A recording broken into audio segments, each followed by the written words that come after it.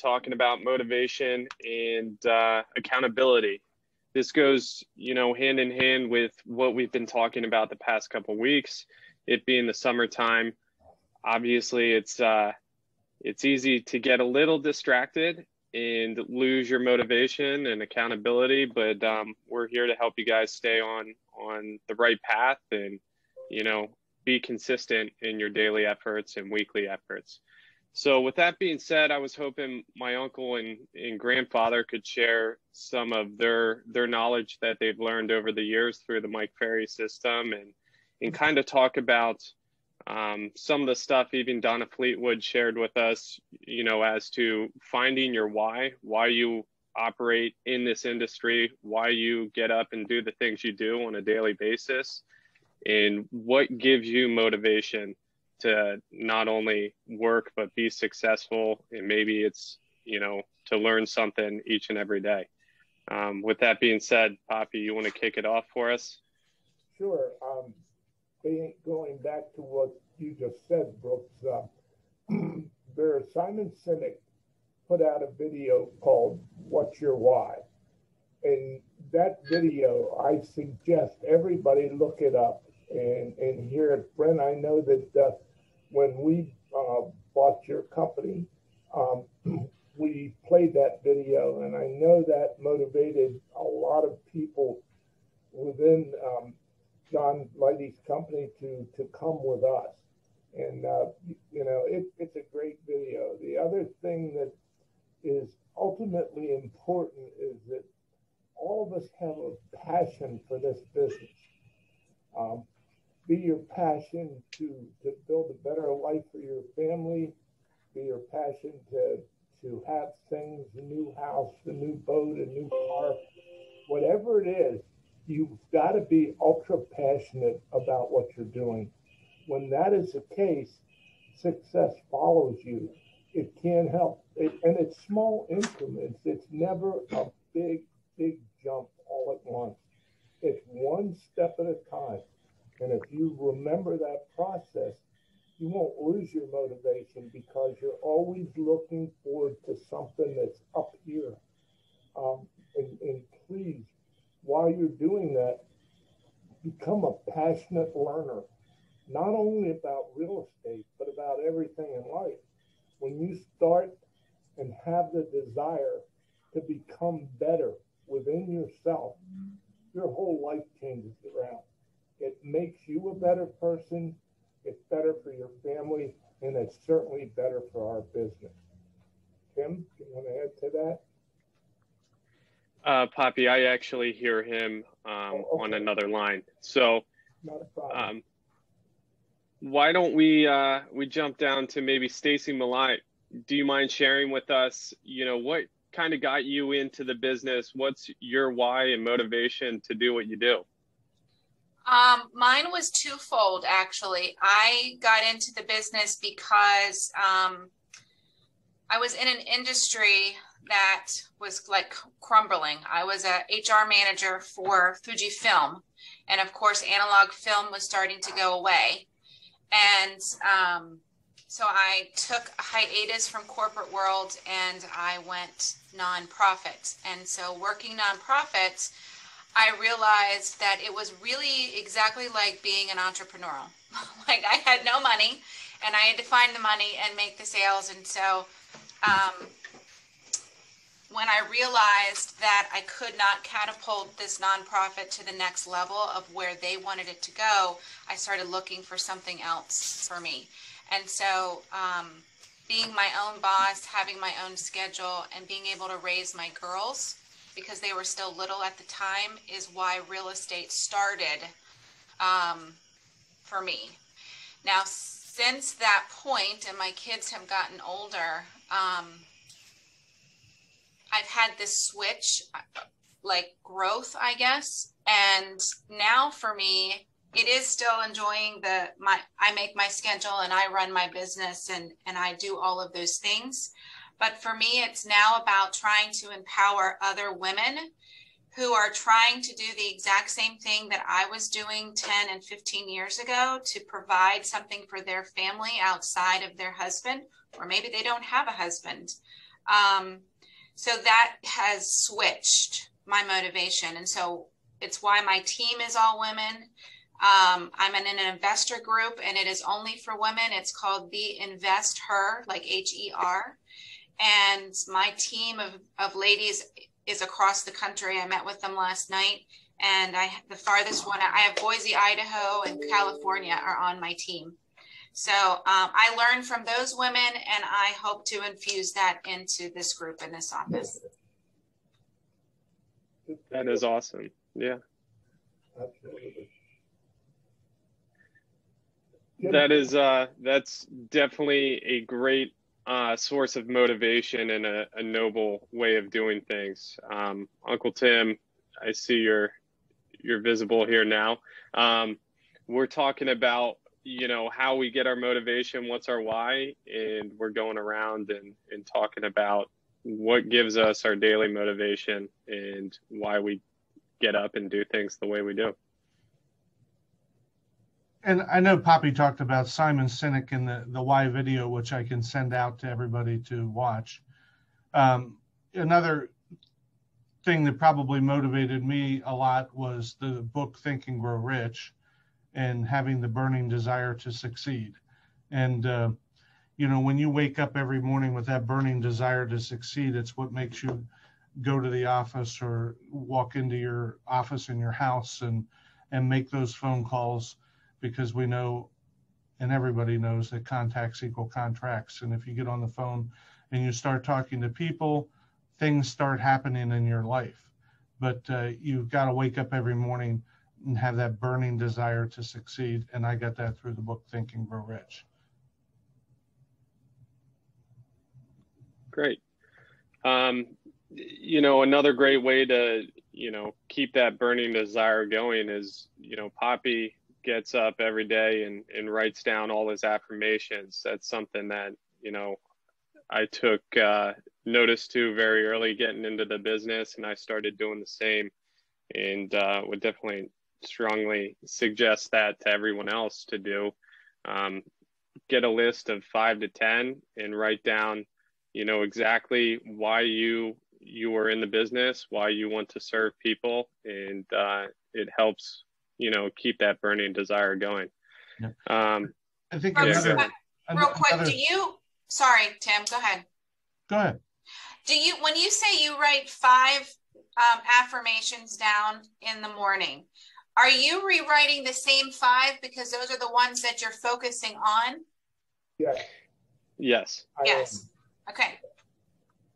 Um, the, the reason for that is they're they are my main goals of life. They were my main goals when I started studying under Mike Ferry. Um, you know, I am making my contact goal. That's one of my affirmations. Every day I still do that affirmation, even though I'm not in the business of listing and selling so much anymore and in the business of management. I have a contact goal to make every day if I, you all receive a call from me, I'm, you know, every every week and every month I have accountability to certain people. You have to have that accountability if you want to succeed in this business. It's got to be a desire from within you to help somebody else. When you feel that way about your business and your life, you can't help but succeed my next affirmation was I am getting an appointment. The reason I do that in today's market is there's certain people that we need to recruit in our business. As a result, it's a goal that I have to make. We have to replenish the people that leave our business and go to other companies or just retire. In doing so, we only have a specific amount of spaces. Tim and I, a long time ago, said we don't need to be the biggest, but we certainly need to be the best. And I think we fulfilled that very, very well. And then my third affirmation is one that I learned from Mike Ferry, and it keeps me in my mind control and, and wanting to succeed. And it's I'm determined, I'm fearless, I'm powerful, I'm unstoppable. Uh, we used to stand up and say that at the meetings, and then they would say, Go pick up the phone. I just feel as though it's something that revs me up every day to continue me making the beliefs that I hold dear so that the most important thing in, in my life is my family. So I need to fulfill that obligation, and that helps me fulfill it. Um, my next affirmation is I'm the master of my fate, the captain of my soul. That says everything about your life. You you don't need to make excuses when you say that to yourself. Excuses are only baloney. They make you feel good. They give nothing to the other person. So you really need to think about that when you're doing your affirmations. And then my last affirmation is always a hundred percent of a commitment equates success. And they have helped me tremendously from and you know I'm not proud of it, but I was broke twice, and I've come back, and it's because of what we're talking about and sharing today. So I would implore every one of you to, to try to do that.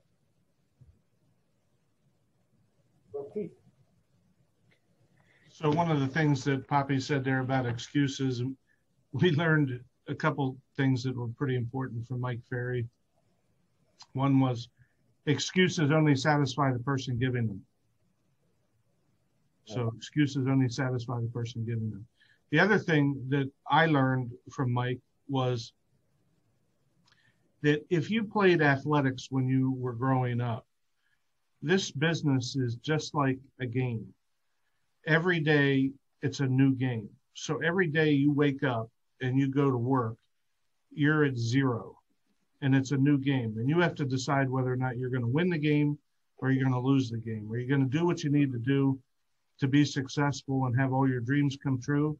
Or are you going to lose the game today and give up and not make those calls? So the fact that if you can think about it as a new game every day, sometimes that helps you um, do what you need to do to be successful. You know, I have often told a story about my father and I sitting in a Mike Ferry seminar, and there was a brand new black on black SL 500 convertible sports car sitting on the stage. And on Friday at the end of the seminar, they were going to give that car away. And all week long, I looked at that car on stage and I wanted it. Oh my God, I wanted it. I wanted to win it.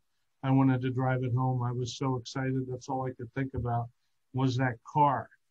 And um, then I realized by the end of the seminar that I could have that car. I don't have to win that car. And, you know, so if you do what you're supposed to do and you pick up the phone and you make the calls you're supposed to make each and every day, you can have anything you want, just like I wanted that car. If I wanted that Mercedes, I could have it. But in order to have it, I got to wake up and play the game every day. So that's the kind of stuff that I've gotten through motivation over the years. And, you continue, it, it's not just picking up the phone and calling. We all have ability. The ability of networking is a great asset to, to yourself if, if you're in this business. If you have that ability, uh, Stacy, was what you said about sharing and the people over the country that's networking. Somewhere along the line, somebody is going to say, "She's a nice person. I'm gonna, I'm going to call her and tell her about my friend that's moving to her area." That's networking. Uh, networking of going into uh, um, some of these organizations, the, the, the, Chamber of Commerce, for one. Um, are you involved in that? Are you involved in your community? Are you helping in any respect at all so that you become noticed, not for being a realtor, but being a help to the community, which in turn will silently say, hey, she's a good person or he's a good person. I'll work with them because they're helping all of us. That's what this whole business is about. So I would I would encourage networking along with your prospecting. It's a necessary item. I have really good success with, um, aside from being part of the chamber and the activities that happen there, um, I am involved in Rotary, and Rotary has been an amazing Another group. And so I would encourage anyone in the in the Harrisburg area, you know, and beyond to get involved with your local Rotary because those fingers um, filter out through all the different communities that they know. So. How about anybody else? Come on. We all have our little ideas that we use. Uh, share them with us. That's what this is all about. The more we share, the, the bigger our business gets. What keeps, hey. what keeps Bob Stevens motivated? Bob, you're 80 some years old. You get up every day. You're sitting in the office right now.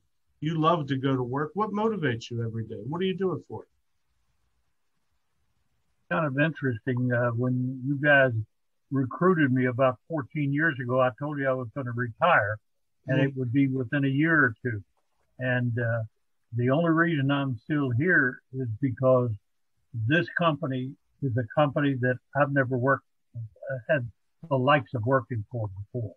Uh, it's genuine. Uh, it's honest. Uh, the staff is fantastic and I just enjoy coming to work. Well, thank you. Yeah, That's... you had something to say.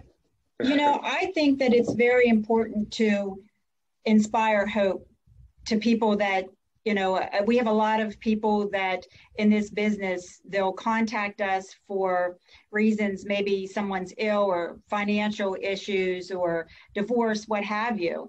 And i think that it's very important to put a positive spin to let them know that there is hope and that we're you know we're somebody that can help them um, not just you know they're not just another transaction. So i am building a group and a team that really does believe in inspiring other people and taking the business to another level. It's so much more than just a transaction.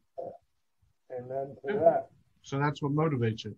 It is absolutely. Good. to uh to kind of piggyback on bob stevens there i mean we've hit very very well on the motivation piece. Um, you know, the second part of it's definitely the accountability, and that's what we as a company try to be there for for you guys with is um, you know to help you not only with your motivation but to keep it going for you. So you know, I would uh, encourage you guys, you know, reach out to my uncle, my grandfather, myself, let us know what your goals are, what your motivation is, and we'll help you stay motivated throughout the year. Um, you know, whether it's in the fall when you're doing your business plan, send us your business plan, give us your goals that, that you have for this year.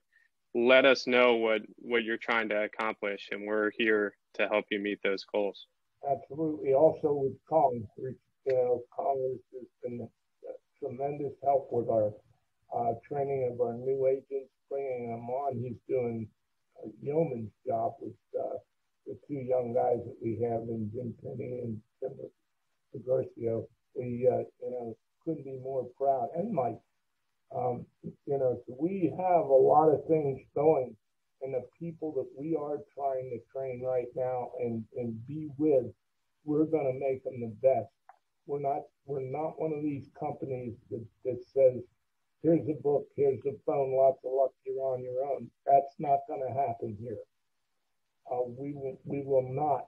And when we bring somebody on, they will succeed unless they're, you know, we totally misjudged it. We're not going to allow them to fail. And we're not going to allow any of you to fail if you have the desire to become better. So Paul, Paul and Sue, how do you guys keep each other accountable? You work together every day. How do you keep each other accountable?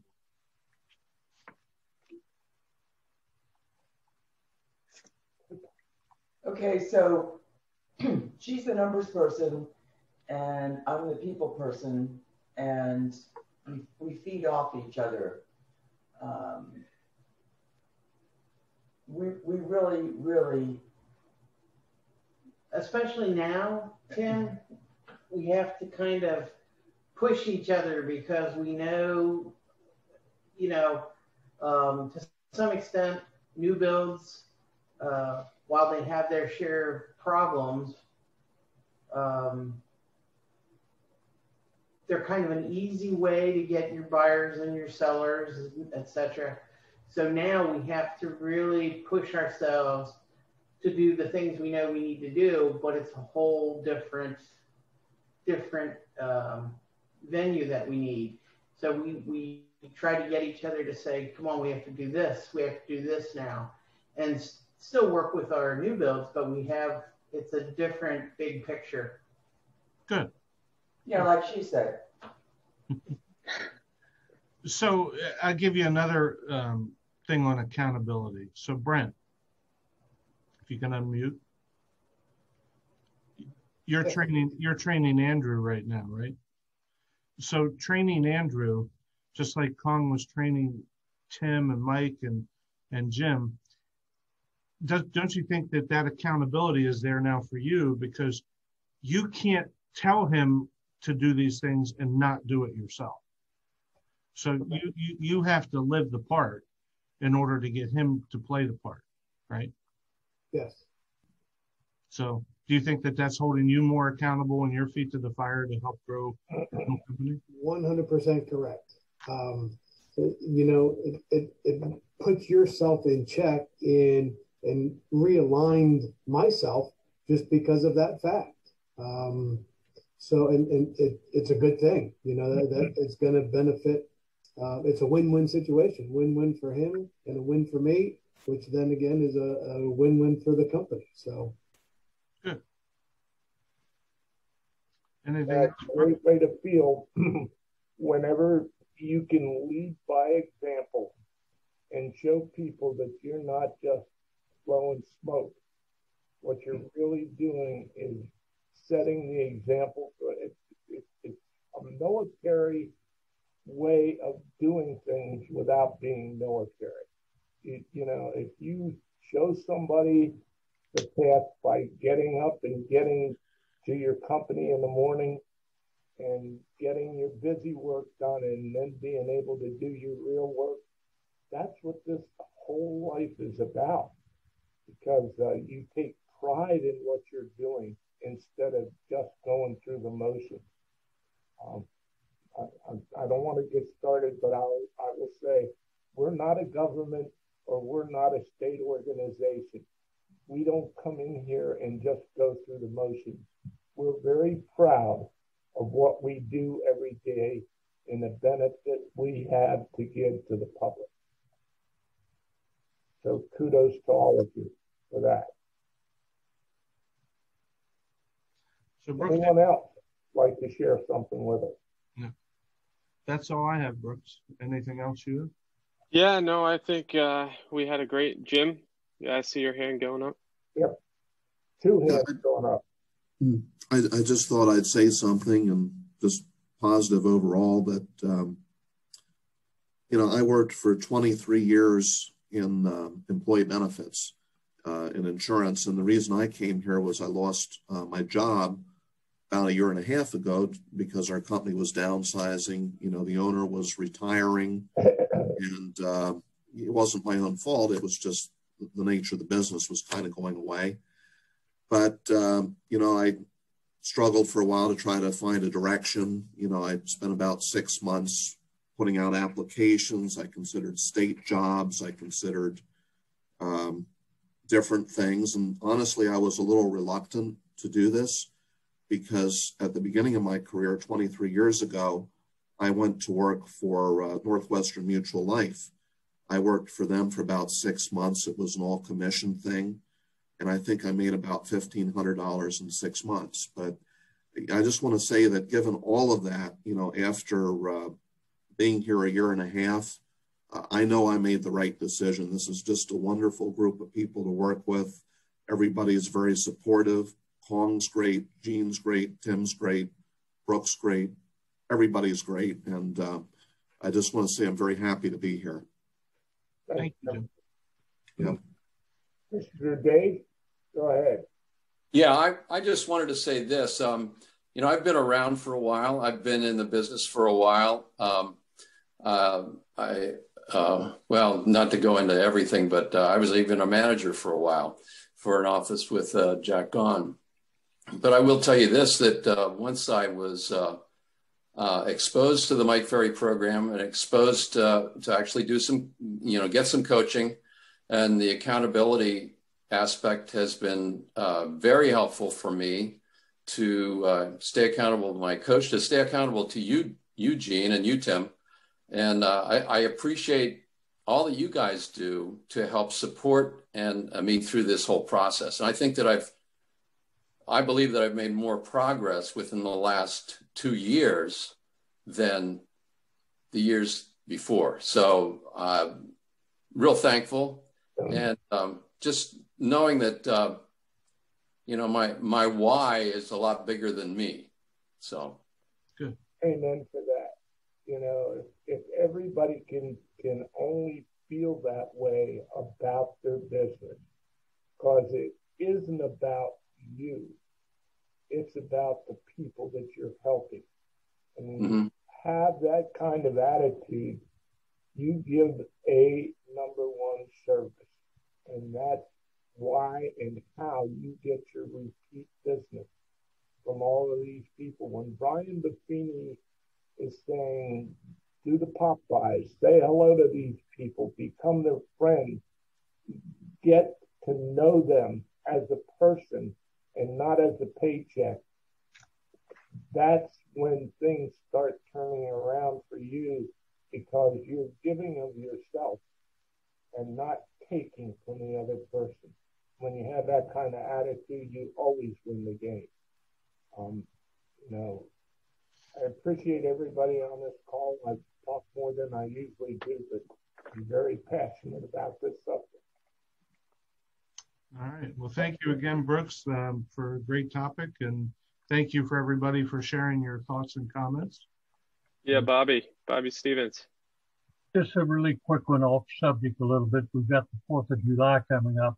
And I want to thank uh, Brent for his service and any other veterans that are on this call today. Thank you. Hoorah. Hoorah. Thank Amen. you, Bob. All righty, guys. We'll talk um, you, thank you. Yeah, thank you again for getting on the call quickly. I just wanted to add in, um, you know, I am going to be sending out a schedule for the agent videos. If any of you guys have interest in getting one of those done, please reach out to me. Those are going to start the week of July 12th through the 16th. And then we're also going to do July 19th through the 23rd. If there's a day within those weeks that works best for you, um, shoot me an email and I'll reserve that date for you. Uh, and as soon as I get a schedule narrowed down with the videographer, I will send that out. And um, also a list of kind of scripted questions that you guys can answer and think about how you want to answer appropriately.